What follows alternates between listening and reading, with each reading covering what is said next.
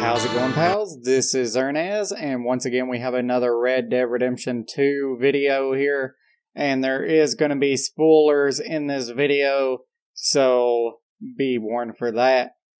This was posted on IGN. They got a first look, and there was quite a few things I wanted to talk about and things that they note noted in there, and thought I would share with you guys. So let's just get started. So they said if you point your gun at someone, they will either drop to their knees and beg for forgiveness or they'll eh, just pull out a gun and shoot you, or they might even aim a gun at you and tell you to hey quit it, you know, stuff like that. So the people around in the world will actually react to things you do. They said there is a camp that you start in, which uh, each member of the gang has a job to do, such as like clean clothes, cut wood for the fire, water collecting from the river, and more. Uh, they said if you run low in food and resources, then the spirits of the camp will demeanor uh, you can hunt or just buy supplies for the camp, though. Uh, this is, however, not all on you, as Rockstars didn't want it to be like annoying. Uh, a guy named Pearson is the camp cook, and when uh, Arthur walked past, he's told the meat supply is running low. And they mentioned that this isn't a cutscene. You just must listen to your surroundings and do accordingly to make your group happy. You could choose to help them or just not, but they will get uh, upset.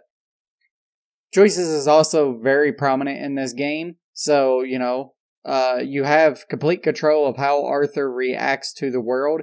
If you come across someone, whether nice or mean, you'll get an interaction system such as uh, greet or antagonize, you know, sort of like Fallout. Uh, these choices may change too, depending on what you've done in the past. Uh, another instance that was mentioned was that if you travel with your gun holstered, you may get a warmer welcome. Carrying it, however, will make some bandits and lawmen retaliate aggressively. That means they could pull out their guns and make you put it away, or they can even just start shooting. They mention that the world is clever as well. They rode by a farm too close and the farmer told him to scram. But when going to a fisherman's tent, he was fixated on catching that fish that he didn't even notice Arthur going through his supplies, and he even took his meat that was hanging. The fisherman's dog, however, did notice and he started to bark to let his owner know. And then when he the fisherman goes back and he finds his stuff missing, he tells him to stop. IGN then chose to tell him to turn around and run, but since he didn't, they pushed him down, which made him run off. Uh, they mentioned these choices matter. If they killed the fisherman, then there would be a bigger bounty on them for murder, but since he let him run off, the fisherman would then go to the sheriff and there will be a bounty for robbery. So you kind of like pick and choose. If they ever find the body and they go after uh, you for that, then your bounty's going to be much, much higher and you're going to be really wanted. But if you just have a small time robbery, eh, you know, you're definitely going to get that because the fisherman to go tell the cops. But it's going to be much smaller, so it actually matters. They talk about seeing wildlife and doing a bit of hunting. They see deer, bear, and more. Uh, they mention that the meat will decay over time, so that you must get it back to the camp or sell it. Uh, you can even use your horse to put the carcass on and then ride it in, so that's pretty cool. Uh, they even say if you kill rabbits, you can either choose to skin them right there or scoop them up and tie them to your horse. Uh, I don't know if scooping them up and tying them to your horse is any benefit other than, you know, uh, or you just skin them. Maybe if you scoop them up and tie them to your horse, maybe you could sell those for more. I'm not sure. Then there is hunting with a bow, uh, which they talk about quite a lot in this because they said it was their favorite part. Uh, but they said the hunting with a bow is much cleaner uh, ways to hunt, you know? So it makes the kill much more valuable. You can whistle to draw the animal's attention, and they mention firing an arrow, but just getting it in the leg, the deer that is. The deer cries out in pain and attempts to run, but the wound is deep. Uh, they said there's a blood trail for a few feet, but then the deer is laying on the ground. But it's still alive, so Arthur draws his knife and finishes the deer. They said that Rockstar wants you to build a companionship as well with your horse this time around, instead of just being like a, a transportation unit. As time goes on, you'll have to feed it, you'll have to calm it when it's agitated, and groom it, and so on. Uh, your horse uh, also now carries your larger weapons and supplies, so you must know where your horse is. Apparently, you can't call it from a whistle if it's too far away, so you need to know where your horse is at all times.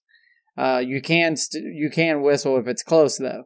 Uh, and they also did mention that different breeds of horses react differently to things like terrain, water, stressful situations, and so on.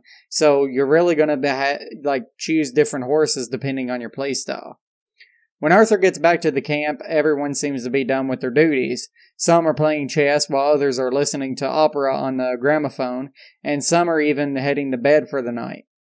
Um, he mentions that near a wagon you see Bill Williams, see Lenny, and Karen talking about the bank they want to hit in nearby town called Valentine.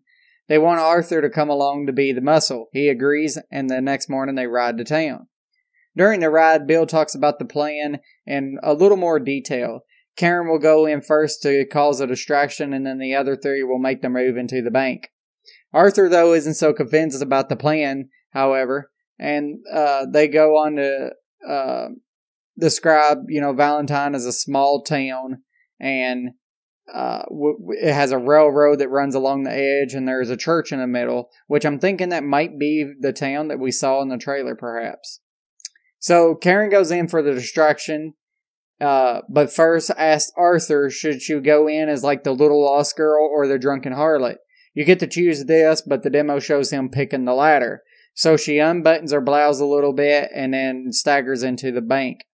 The three pull up their neckerchiefs and walk in, weapons drawn. When you get in, you see some people on the ground held at gunpoint already. Arthur grabs the nearest banker and forces him to open the door, but pistol whips him when he tried to resist. Uh, Arthur then uh, tells him to open the thing, which the bank teller tells him only the manager can do it. And once again, they he pistol whips him once again, and finally the guy opens the vault. Arthur did finds five safes, but Kenny and Karen shout from the front saying the time is almost out. So this is where another choice comes in. You can either attempt to crack the safes or blow them open. In this demo, they decide to blow them open, because who wouldn't? And they haul as much loot out as they can. When going outside, the sheriff and his deputies are there, but Karen tries to tell the sheriff she is lost, doing that little lost girl routine uh, that she talked about earlier. Then out comes Arthur, who kicks in the uh, the doors and uses Deadeye. They did mention that Deadeye looks very, very similar to the game, uh, the previous game, which is okay because that worked very well. They said when they jumped on the horses uh, and the bullets flew by their heads, uh, it knocked off his hat. Rockstar claims that it wasn't a set scene and something that could happen in everyday gameplay. If you lose your hat, you won't magically get it back in the next scene either. So if you want your hat, you have to actually go back and pick it up with the bullets flying around you. That's amazing. Like that's I don't know why, but that was like the part that really got to me. Uh, they go on to state that they do a little shooting on horses, and when he shot someone off the horse, his leg got caught up in the ropes, uh, just like last year, or last year's. Yep, Red Dead was made last year, but just like the last game. And the last note is that Rockstar promises that multiplayer will return and create a brand new open world experience. So there we go there is uh, the IGN first look at Red Dead Redemption. Let me know what you think about it in the comments below. Is there anything you want to add? Is there anything you would like to see in Red Dead Redemption? Let me know all that in the comments below. And as always, you could be a pal and subscribe.